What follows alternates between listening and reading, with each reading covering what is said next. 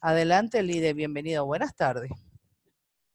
Ok, muy buenas tardes para todos, con cariño, amor y mucha alegría. Eh, para mí es un placer pues, poder estar este, haciendo este trabajo para todos nosotros de Latinoamérica. Ese es un trabajo, eh, por supuestamente, del equipo de líder Antonio García, del equipo latinoamericano, y que eh, nos complace mucho pues, en poder entregarlo para que todos podamos crecer, todos podamos crecer estratégicamente, porque cuando ya tú eres un empresario, ya tú has empezado a pensar de que ya tú no eres un empleado y que este es el negocio que tú estás estructurando es una, una compañía tuya, entonces tú vas a trabajar con los pasos, con el manual del éxito, que es el que hemos venido trabajando. Y el primer paso es define que, cuáles son tus sueños, define qué quieres, conoce tu negocio, establece tus metas, prepárate profesionalmente, plan de trabajo, revisión de tu progreso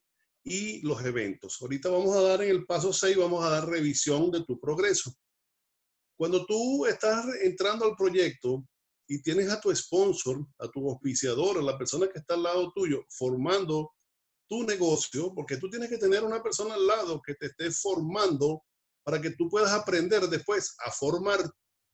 Si tú no tienes un sponsor que te está ayudando a formar tu negocio, porque también está nuevo, entonces suban un poquito más y busquen a la persona que está más arriba, que verdaderamente está interesado en que, en que su negocio sea un negocio exitoso y sea un negocio próspero. Porque te quiero dar un tip aquí, si, si tú quieres tener un negocio súper próspero, tú tienes que construirlo paso a paso. Tienes que construirlo paso a paso, porque como yo siempre he estado diciendo en estos, en estos pasos del éxito, cada persona que tú registras es una empresa tuya. Porque es un líder que tú estás registrando, es una persona que se va a convertir en miles y miles y miles de personas más. Entonces, si tú a esa persona no la formas, si tú a esa persona la registras y, la sueltas, entonces tu negocio no va a crecer. No vas a tener ningún negocio. Porque lo que vas a tener es, entonces, vas a tener una organización de puros negocios muertos. O sea, aquí en multinivel eso se llama, eso se llama negocio tipo cadáveres, porque están allí y entonces esas personas lo que hacen es matarlas. Tú matas a esas personas y entonces esas personas te dicen a ti y le dicen a la gente en la calle, ese negocio no funciona. Resulta que no son ellos los que funcionan, porque tampoco buscan ayuda y que la persona que lo registró no les habló claro del proyecto y les dijo, ¿cómo vas a entrar en el negocio? ¿Vas a entrar como inversionista?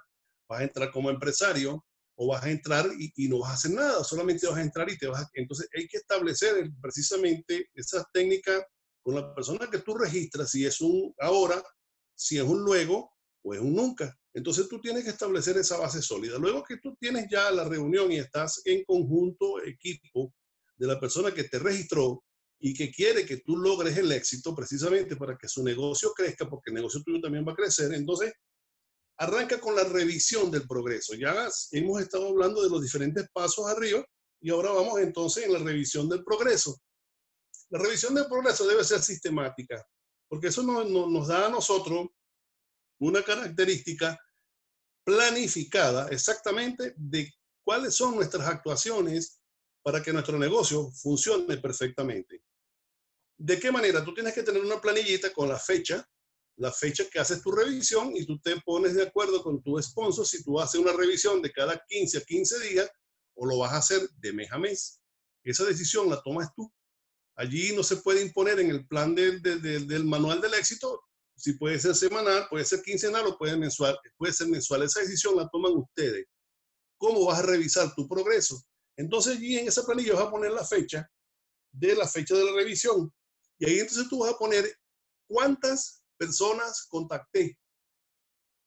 ¿Cuántas personas contacté? Llamé, prospecté. Ahí entonces pone, eh, eh, este contacté 60 personas, por así decirlo. Pone 60 personas, porque tú tienes que tener previamente tu lista en donde tú vas contactando, porque eso lo hablamos nosotros en el otro paso. Tú tienes que ir viendo cuántas personas contactaste. Y entonces ahí tú pones 60 personas. Y entonces tú dices, bueno, ¿cuántas personas registré? Bueno, se registraron cuatro, ¿entiendes? Por así decirlo. Entonces, tengo cuatro afiliados, contacté seis personas Ajá, ¿cuántas, ¿cuántas personas tengo en seguimiento? Porque hay un proceso de prospección, un proceso de seguimiento, un proceso de afiliación. Entonces, en ese proceso tú vas poniendo las personas quienes están en seguimiento, quienes están para contactarse y eso tiene que ser anotado. Eso tiene que ser anotado para que tenga un resultado estadístico, porque este proyecto, este proyecto es demasiado dinámico y tú puedes empezar a hacer tus contactos por las redes sociales y lo puedes hacer también analógicamente. ¿Cómo es analógicamente tus contactos? Lo que tienes en tu casa, los vecinos, los amigos, que los contactas personalmente. Pero aquí hay fórmulas a través de las redes sociales que tus contactos, yo digo 60, pero aquí tú puedes contactar en una semana 600 personas, 1000 personas, 3000 personas. Eso depende de tu capacidad y tu línea de contactos en base en el manejo de las redes sociales. Por eso es que es importante la revisión para que tu progreso vaya avanzando, vaya avanzando en esa, en esa medida, pues vayas creciendo. Y luego de eso, entonces, tú tienes no solamente eso, sino también pones la relación de cuánto tú te estás ganando, cuánto te estás ganando y cuánto tú quieres ganarte con el trabajo que vas a efectuar. Esa es revisión de progreso, entonces tú haces toda la revisión en ese tiempo, pero pones metas establecidas para cumplirla en ese lapso que vas a hacer la otra revisión. Por ejemplo, si vas a hacer revisar tu progreso de 15 a 15 días, entonces queda la planilla establecida, cuántas personas tenías afiliadas, cuántas personas contactaste, cuánto estabas ganando en esa fecha, y luego en, la otra, en la otra revisión, entonces tú vas a ver, oye, tuve un progreso, por eso que se llama revisión de progreso. Y ahí ves la eficacia de tu trabajo, si estás creciendo, cuántos líderes registraste, porque cada persona que va registrando también tienes que empezar a duplicar todo esto que estás haciendo para que tu negocio se vaya expandiendo. Si registraste cuatro, bueno, esas cuatro personas ya tú tienes un compromiso de trabajar con esas cuatro personas porque ya estás aprendiendo, ya estás aprendiendo. Entonces, esas personas que llegan, que no saben nada, puede de, repente te puede llegar una persona que es un experimentado networker, oye, te ayuda bastante. No tienes que trabajar tantísimo con esa persona porque esa persona ya viene experimentado, pero hay personas que vienen de cero. Cuando la persona viene de cero, tú tienes que agarrar a esa persona y decirle, bueno, mire, usted puede ser ingeniero, usted puede ser médico, usted puede ser abogado, usted puede tener una profesión universitaria, con todo respeto, oye, yo le felicito por eso, pero si usted no ha hecho redes de mercadeo, usted aquí tiene que empezar por la A, porque esta es una profesión. Y de hecho es una profesión que te da, ha dado la mayor cantidad de personas millonarias en el mundo. Eso es una estadística, porque este negocio de redes de mercadeo tiene 65 años en el mundo y es el negocio que más millonario ha llevado en el mundo. Estadísticamente, ninguna otra empresa lo recomiendan los grandes escritores, Robert Kiyosaki lo recomiendan. Todas estas personas que tienen capacidad de dicen que para tener una gran empresa es preferible apalancarse en el tipo de empresas de creación de redes. Y de hecho, son las empresas más exitosas y las más millonarias en el mundo son las empresas de redes.